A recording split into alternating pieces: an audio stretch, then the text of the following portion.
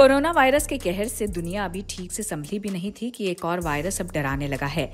दुनिया भर में मंकी पॉक्स बीमारी के कई मामले सामने आए हैं। ब्रिटेन में शुरू हुए मंकी पॉक्स वायरस के मामलों की अब कनाडा और स्पेन समेत 12 से अधिक देशों में पुष्टि हो चुकी है। डब्ल्यूएचओ के मुताबिक Australia, Belgium, Canada, France, Germany, Italy, Netherland, Portugal, Spain, Sweden, UK और यूएस में मंकी पॉक्स के मामले सामने आए हैं। डब्ल्यूएचओ ने कहा है कि मंकी पॉक्स के मामले और बढ़ सकते हैं। भारत में अब तक मंकी पॉक्स का एक भी मामला सामने नहीं आया है, लेकिन भारत सरकार ने मंकी पॉक्स को लेकर एडवाइजरी भी जारी की है।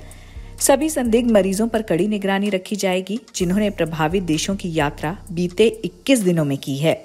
इन संदिग्ध मरीजों की सूचना स्थानीय जिला अधिकारी से लेकर स्वास्थ्य विभाग को तुरंत देने के निर्देश दिए गए हैं। एयरपोर्ट पर एंडेमिक और नॉन एंडेमिक देशों से यात्रियों की जाँच हो रही है।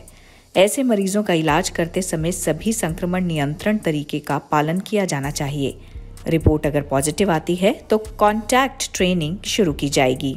पिछले 21 दिनों में मरीज़ के संपर्क में आए लोगों की तुरंत पहचान करनी होगी और उन्हें आइसोलेट करना होगा। संदिग्ध मरीजों के सभी घाव भर नहीं जाते और त्वचा की एक नई परत नहीं बन जाती, तब तक आइसोलेशन समाप्त नहीं कर सकते हैं और तब तक क्वारंटीन रहना चाहिए। यूरोप से लेकर अमेरिका तक कहर मचा रहे मंकी पॉक्स को लेकर एक नया दावा सामने आया है। मीडिया रिपोर्ट्स के मुताबिक पूर्व सोवियत वैज्ञानिक कर्नल कनाट अलिपकोव ने एक इंटरव्यू में कहा है कि 1990 के दशक में सोवियत संघ मंकी पॉक्स को बायो वेपन के तौर पर इस्तेमाल करना चाहता था।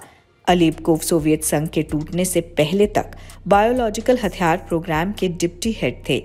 अब इस पर सवाल खड़ा हो गया है कि दुनिया भर में तेज़ी से फैल रहा मंकी पॉक्स, क्या रूस का बायोलॉजिकल हथियार है? ऐसा कहा नहीं जा सकता? बायोलॉजिकल हथियारों के इस्तेमाल को रोकने के लिए 1972 में एक कानून बना था।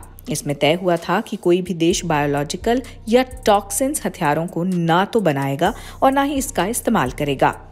इस कानून पर रूस समेत एक सौ तिरासी देशों ने हस्ताक्षर किए थे।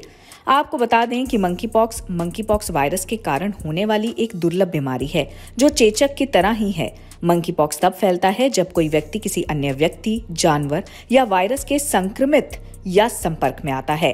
आमतौर पर मध्य और पश्चिम अफ्रीका के दूर दराज के इलाकों में होने वाला ये वायरस पहली बार उन्नीस सौ अट्ठानवे में बंदरों में पाया गया था।